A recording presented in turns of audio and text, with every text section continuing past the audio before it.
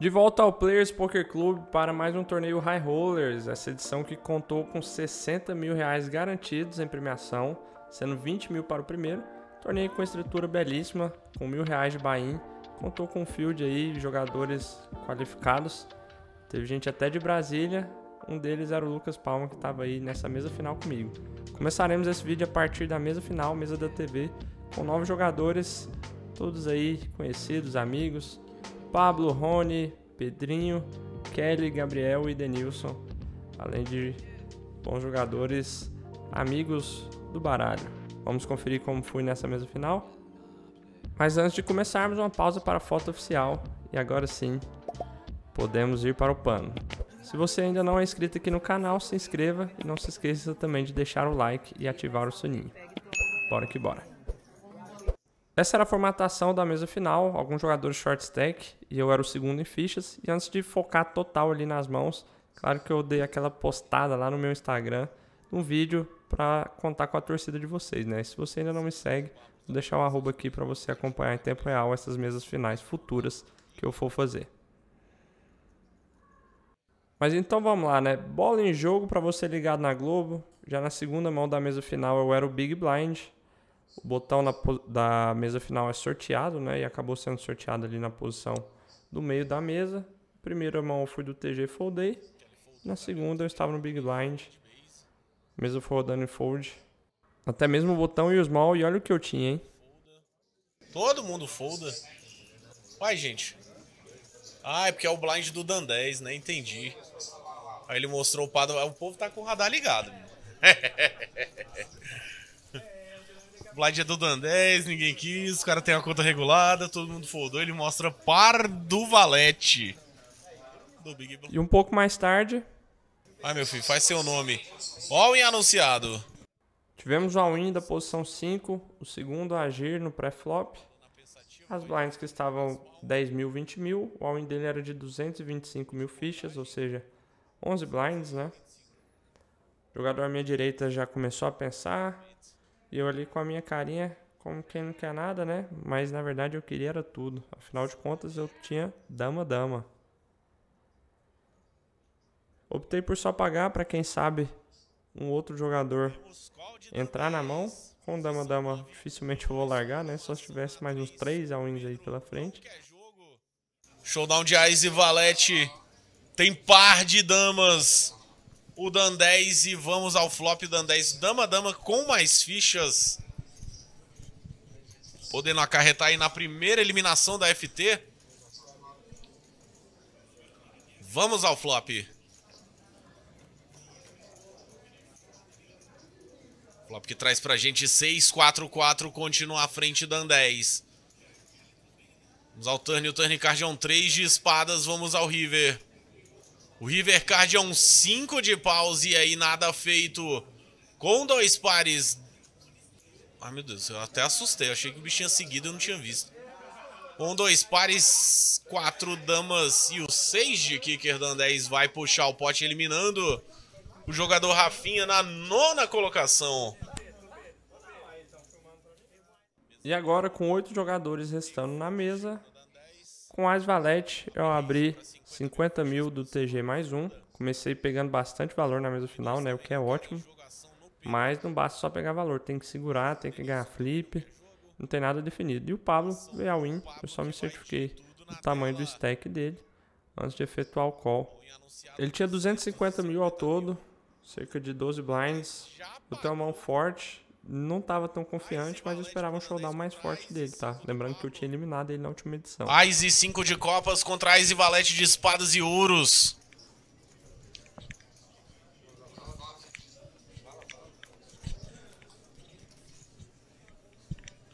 Flop traz ali 7, 3 e 8, duas de copas. Precisa achar copas.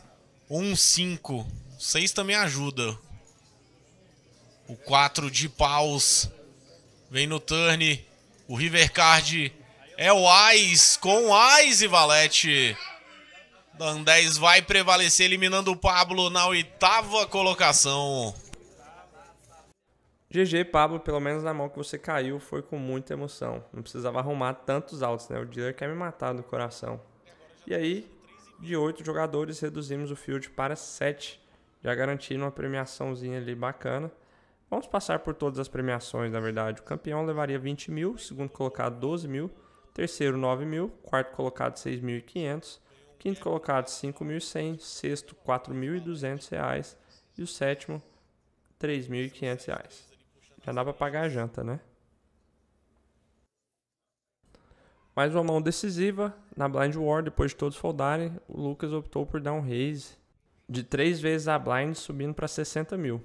Bom, ele era um stack alvo ali, já que tinha outros três jogadores short, ele tinha um stack que estava na média, e eu recebi um As 2 de paus. E eu tava pensando o que fazer, né? Posso jogar de call, posso dar um raise aqui. Raise não gosto muito, acho que se for de raise tem que ser a win. E é uma situação ótima para eu pressionar e eu tenho a blocker do As, né? Então eu acabei optando por essa linha mais agressiva. Coloquei ele já na porta. All-in anunciado, temos all-in call. Meu Deus, não é possível. Par do 10 de Lucas Palma contra Ais e 2 do Dan 10. Vamos ao flop.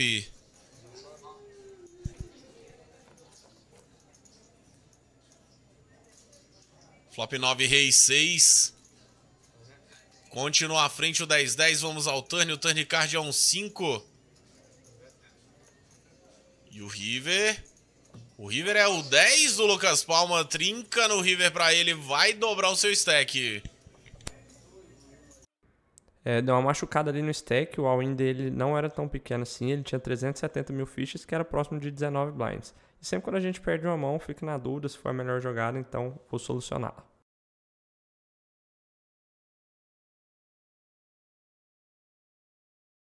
Então vamos lá, pessoal, ver se eu tomei a melhor decisão nessa mão e a forma de eu descobrir você já sabe, né? Utilizando o GTO Wizard. Inclusive, se você também tiver interesse em solucionar suas dúvidas, aqui no link da descrição desse vídeo tem o meu link de afiliado. Você pode criar sua conta e a partir dela ter um desconto de 10% na sua primeira compra aqui no GTO Wizard. Então, vou selecionar aqui ICM, né? Final Table, que é a mesa final. E vou verificar aqui com situação pelo menos próxima daquela que a gente jogou, que eu acredito ser essa aqui, ó. O Small Blind com 17 blinds e o Big com 41. Então, ação roda em gap. Então, Small Blind. Primeiro vamos ver a estratégia do Small, né? Vejam que até com um par de 10 tem bastante limp, porque ele realmente está pressionado por conta dos outros shorts, né? Então, ele dá um raise de três vezes, a size foi correta, que ele escolheu, e a estratégia do Big Blind, então, seria essa. Ó. Então, percebam que jogada mais frequente aqui com as dois sutas é realmente o chove, tá? Mesma coisa com, com a parte off aqui, os piores ases off, por ter o efeito do blocker, por ter a situação de bolha, por fazer até algumas mãos melhores foldar, né? Eu acredito que ele vai foldar alguns ases melhores aqui, ou pelo menos deveria. Então, agora eu estou mais tranquilo depois de ter visto isso aqui. Vamos ver com o que, que ele deveria pagar, né? Um all-in aqui. Então vejam. Só os melhores ases. É um range bem linear ali, até a Dama. Ah, a Dama ele provavelmente está chovando no pré-flop, né? É. Mas veja então que enfrentando uma estratégia dele de reis, a gente chovando, ele tem que pagar com 9-9 mais Ais e 9 suited mais Ais e rei off. Range bem forte mesmo, por conta dessa pressão do semi, beleza? Então estou mais aliviado agora que eu tomei a melhor decisão, mas em game sempre fica aquele gostinho, né? Mas o torneio segue e eu ainda tinha ficha para trabalhar. Vamos ver a continuidade agora. E se ele tomou um pouco de fichas minhas, chegou a hora de eu tentar pegar de volta, né? E tá em uma boa oportunidade. Do cutoff ele abriu 40 mil, eu estava no botão com Ice 7 suited. Diferentemente de uma fase intermediária do torneio ou fase inicial com stack maiores que eu poderia jogar de call aqui, eu vou preferir sempre jogar de raise, de tribet as minhas mãos apesar dele estar tá com um stack um pouco maior ainda, segue aquela estratégia de pressionar por conta do ICM. Então é o que eu faço. Não arreguei depois de ter perdido. Fiz ali minhas 110 mil fichas. Também não preciso fazer uma size muito grande. Não vai ter uma diferença tão significativa. Minha jogada já indica muita força. E uma situação que eu vou querer explorar é contra ranges amplos, né? E ele joga com ranges amplos de posições finais. Seria ali do Button e eu estando do Small Blind, ou mesmo ele do Cutoff agora, depois de ter ganhado nas fichas. E acabou dando certo, ele foldou e puxamos o pote. E aí ele me fez alguma pergunta ali agora que eu não lembro o que era, mas eu concordei com ele. Geralmente eu não costumo mentir na mesa não, tá? Ou eu não respondo ou eu não minto. O stack foi crescendo e eu fui anotar no celular a mão que eu tinha para eu lembrar depois aqui pro vídeo. Afinal de contas, eu não lembro tudo de cabeça, tem que anotar em algum lugar. E aí eu fui conseguindo puxar mais alguns potes sem pós-flop, só abrindo e puxando. Isso para 40 mil do Dan 10. Vai se soltando ali na mesa. Na posição 2 vai de fold o Rony. Ninguém quis enfrentar a fera, pote pra ele. Se deixar ele gostar do jogo, menino, o pessoal tá enrolado aí, viu? Mesa roda em gap. Lá vem Daniel. Reis pra 40. 9 folda, o Gabriel na 1 também. 2 fold. 3 não quer. É, e lá vai mais uma para ele. E aí nessa mão todos foldaram também. Eu estava no small blind, dessa vez com a mão feia, hein? 3 e 5 off-suited. Mas eu não estava querendo foldar nenhuma mão ali nessa blind war. Poderia dar um raise, mas o stack da Kelly estava curto à minha esquerda. Então eu só fletei vamos tentar puxar no pós-flop de alguma forma, dependendo do que bater. Quem sabe a gente acerta alguma coisa, né? Mas eu não acertei foi nada. Flop rei 10, 9 com duas cartas de copas, tudo lá em cima. Tentei puxar no braço, fazendo a aposta de um blind ali. Usando ao meu favor a situação, né, da pressão. Agora, assim como o Lucas, ela era um dos stacks alvos, mas ela me pagou. E aí o turno deu uma nova chance. A dama de copas, agora qualquer valete segue. Se eu fizer uma nova aposta aqui, eu consigo fazer ela foldar um 9, um 10, quem sabe. E eu ainda tenho o 5 de copas, que pode ser uma esperança aí pro River, né? Caso ela me pague com algum par, eu acerte o flush no River. Não quis abrir mão aqui, até porque eu não tenho valor nenhum de showdown. Fui para mais alguma, para mais uma aposta, agora de 50 mil. Também baixa, porque o stack dela tava curto, ela ameaçou pagar ali, ou quem sabe dar um raise. Mas a decisão dela, com certeza levando em conta os outros dois jogadores short ali, foi de fold. Eu puxei essa mão com a mão bem feia. Mas da coragem, né? Depois o Denilson foi eliminado e seguimos com seis jogadores. Eu recebi um rei 10 off. A blind agora estava 30, então subi para 60. O problema de eu subir essa mão era que o chip leader Gabriel estava no botão. Ele ainda não tinha reagido né, contra os meus ex. Eu estava bem ativo, então eu esperava que ele, como bom jogador que é, reagisse em algum momento e foi dessa vez. Infelizmente eu tinha uma mão boa, mas não o suficiente para pagar um, um tribet jogar fora de posição contra o CL. Larguei o rei 10 off. E algumas mãos depois foi essa aí, ó. Rony chovou. E lá vai o Rony. Ó, o anunciado do TG1. 160 mil fichas. A mesa roda em gap, chega no Dan 10. Botou a fichinha em cima das cartas e tá na pensativa. Anunciou a unha, Kelly foldou. Vamos ao showdown. Rei 9 para o Rony. Contra o par do 8. Do Dan 10. Ainda achou um flip ali o Rony. Vamos ao flop. Flop 7, 6, valete. Continua à frente o 8-8. Dobra o valete no turn. E o River Card é um 10. Acertou o flush. Fez o flush no River. Rei 9 de pausa ali, faz um flush no River.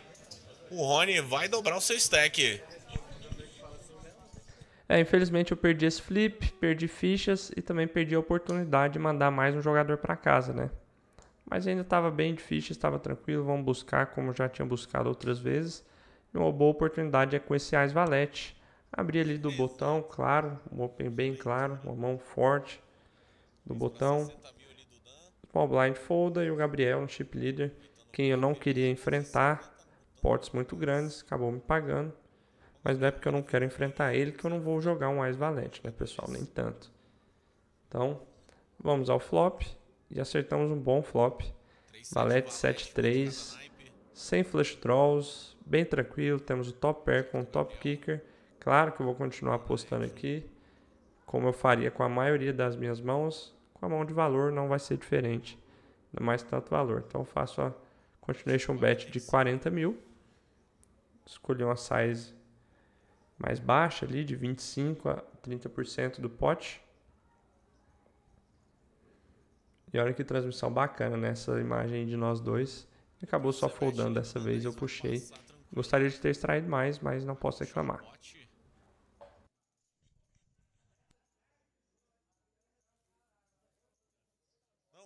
E aí nós íamos nos aproximando de 4 horas da manhã, quando o Rony deu esse raise para 65 mil fichas.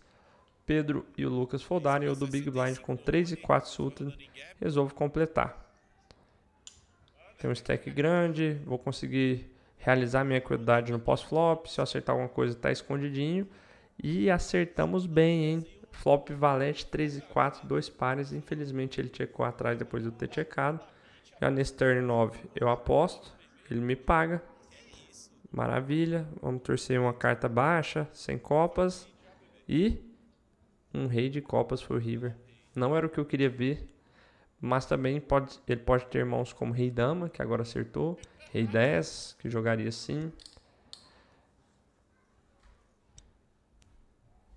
Não acho, não sei se ele pode ter algumas traps, como Vala Vala, né, que tá trincado, mas aí ia ter medo de fantasma demais. Eu acho que eu ainda tenho que tentar extrair valor aqui do Aze Rei, quem sabe também.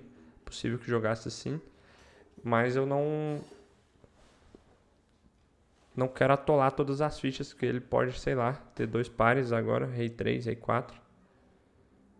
Não sei se ele abriria essas mãos. Então fiz uma aposta ali para foldar, caso ele me voltasse ao win. Ele nem pensou muito, foldou. Novamente eu puxei o pote. Sem extrair quanto eu gostaria, mas puxando não pode reclamar.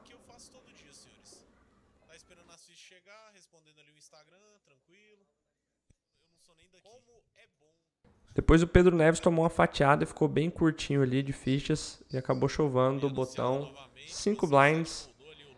Vou pagar com bastante coisa, mas recebi uma mão duvidosa, hein? Dama 4 off.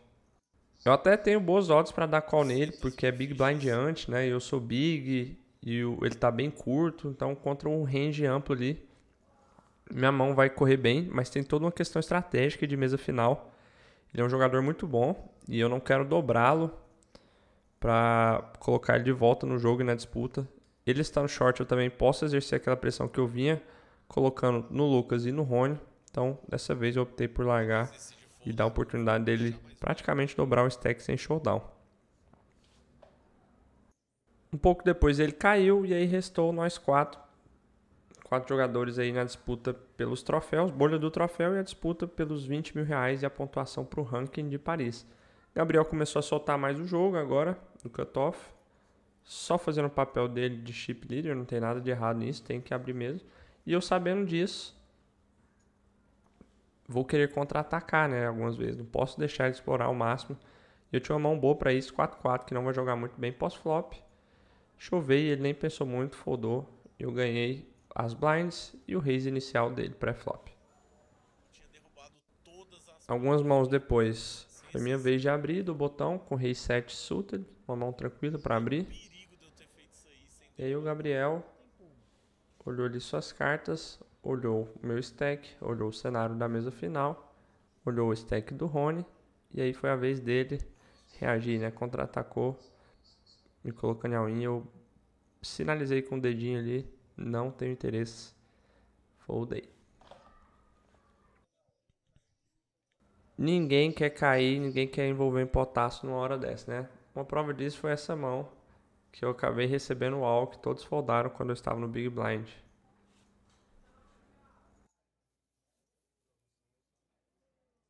A blind subiu para 20 mil, 40 mil. E quem subiu também fui eu do botão com 9,8 de paus, né, padinho. Uma mão boa, prefiro jogar ela em profundidade stack maior, mas do botão dá para abrir tranquilo nesse cenário de mesa final também. Rony me pagou e olha o flop, hein? 9, 6 e 7. Agora eu tenho top pair com duas pontas para sequência. É um flop que conecta bastante com o rei dele, ele pode ter acertado bastante coisa aí. Qualquer par, tem alguns combos também, né? Como o 7-8, que é uma sequência. E eu optei por fazer uma size mais alta, 110 mil, justamente por ser um board que conecta com o range dele e tá todo molhado, que a gente fala, né? Todo conectado ali com vários draws. E o turn foi a pior carta possível. Um 7 de ouros, dobrou uma carta que eu estava ganhando, completou um possível flush. Terrível, terrível. Uma das mãos que eu mirava era 7-5, 7-8, agora acertou a trinca. Então eu dou check para controlar o pote, caso ele tenha alguma dessas mãos. Também avaliar a situação no river. O river é um as e ele saiu apostando a win. Ai, que... O tanto que o flop foi bom, o turn e o river foram ruins para mim, né? Então eu nem demorei muito para foldar. Se ele blefou, parabéns, mas eu não acredito que ele tenha blefado, não. Acho que ele tinha uma mão bem forte mesmo, no mínimo uma trinca. Mas uma mão que eu joguei foi esse Ice 6 off do cutoff, né? O primeiro AG é o cutoff no forehanded. A blocker do As é sempre muito relevante.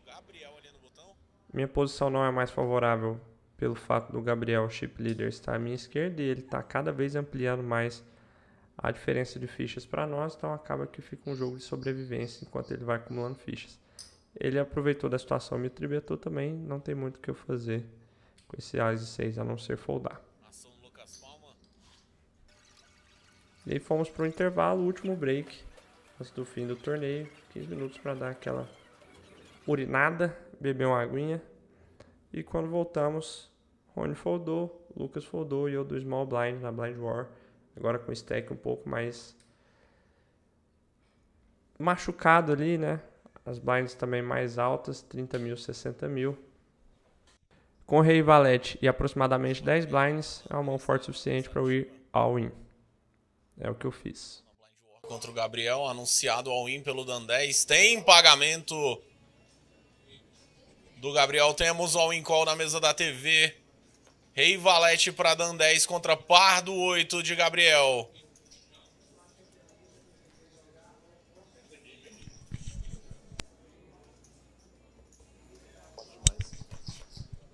Vamos ao flop.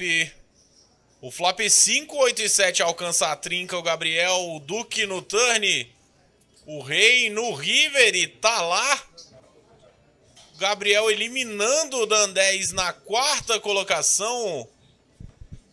Formado o three-handed aí. O Dan 10 vai despedindo ali da galera. GG, pessoal. Assim eu encerrei minha participação no torneio na quarta colocação, bolhando o troféu, mas garantindo aí a premiação de R$ 6.500, pelo menos. E é isso aí, galerinha. Estamos aqui com o quarto colocado, nosso querido Dan 10. E aí, meu querido, como é que foi essa retinha aí do High Roller? Conta um pouquinho aí pra gente de como foi a história desse torneio aí. Ah, para começo de conversa que eu já cheguei meio que exausto vendo a maratona lá de Anápolis. Quem acompanhou aí nas minhas redes sociais viu que ontem passei chip leader, cabeça no bolha, e aí querendo ou não, são três dias de torneio, cansaço acumulado. Mas óbvio que eu não ia deixar passar esse high roller. Porque, até porque eu já fiz mesmo final da primeira etapa, então eu ainda tenho o sonho aí da disputa pelo ranking. Então foi, foi na conduta, assim. Eu, lógico a gente gostaria da cravado, mas sai contente com o meu desempenho e com o resultado, acima de tudo. É, chegou ali bem de ficha, né, na FT, chegou ali, se eu não me engano, acho que maior que você só tinha o Gabriel, né, que agora é o chip leader isolado ali. É, jogou mãos bem difíceis ali, né, o Rei Valete agora no finalzinho aí. Na Blind War tem que mandar, né, o Rei Valete ali. Ah, né? é. Eu demorei ali, não foi nem que eu tava pensando, não, era mais um, um teatrinho mesmo, Um mas timingzinho é, ali, tem né? que mandar nessa situação eu já tava bem nivelado ali meu stack com o outro rapaz ali à minha direita, o Rony um pouquinho à vantagem, mas essa, nessa altura do campeonato não tem o que fazer. E É. pro gamer, ainda mais na Blind War, Rei Valete é muito Tem forte. que buscar a dobra ali mesmo, né, Pra conseguir um espaço, né, Pra respirar, pra conseguir jogar contra o Gabriel, né, pelo que eu acompanhei hoje dele, um jogador muito bom, né, e não vai dar espaço ali pra Com muita certeza. coisa. E temos ali, ó, o Incall. Rei 8 contra o Rei 7 do Gabriel. Rei 8 ali do Lucas Palma. Vamos acompanhar ali o flop 9 Duque 7 passa à frente, o Rei 7 Turnicard é uma dama e o River é um valete. E tá lá, o Gabriel vai mandando mais um pra casa, tá formado aí o heads up. É. Tá matando todo mundo. que o dia hoje é, de, é, é dele, né? Não é. tem. Não, tá indo muito bem. Ganhou um 10 e 6 contra a Dama 10. Agora Sim. Rei 7, Rei 8, ganha flip. É isso aí. Pra ganhar torneio tem que, tem que dar uma ronadinha também, né? Tem que tem... dar uma ronadinha, é importante. Mas aí então é isso, meu querido. Espero te ver aqui mais Obrigadão. vezes. Também digo mesmo, espero te ver mais pois vezes. Pois é, vamos ver aí se a gente coloca pra frente esse projeto aqui das transmissões aqui em Goiânia. Vamos sim, vamos sim. Tenho vamos certeza. acompanhar o pessoal do lado de cá agora também. Tenho certeza que o pessoal de casa gosta bastante. Aliás, obrigado aí quem acompanhou, que tava na torcida. E é isso aí, parabéns você, o Players, pela Valeu, iniciativa. Obrigado, meu querido. Que tenha mais junto. transmissões. Ah, vai lá, vai descansar que depois tem mais Dan 10 aqui na transmissão pra vocês, galerinha. Valeu, depois vou pegar os cortes e postar no meu canal desse. Vai lá, meu Fui. querido. Um abraço. Valeu, Dan 10, obrigado. E esse roller já parecia ter um dom, né? O Gabriel jogando bem e ainda tendo sorte, mas o poker sempre nos reserva as surpresas e o Rony conseguiu virar esse heads up e a mão derradeira foi essa aí. Rei 5 de ouros contra o Dama de paus e o 8 de ouros. Vamos ao flop. Flop 9, Ais e 7, não muda nada. O turn card é um 4. E o river card é um 4. Comemora o Rony. Tá lá, tá definido. Numa virada espetacular, o jogador Rony vai cravar a terceira etapa do High Roller, 60k garantidos, to go. É PT aqui na Players Poker Club. Parabéns pro Rony que conseguiu reverter essa desvantagem do heads up. E mesmo com a camisa do Vila Nova, vou deixar encerrar o vídeo com essas imagens dele com o troféu de campeão. E lembrem-se, baixe o WPT Global e assista os outros vídeos aqui do canal. Fui!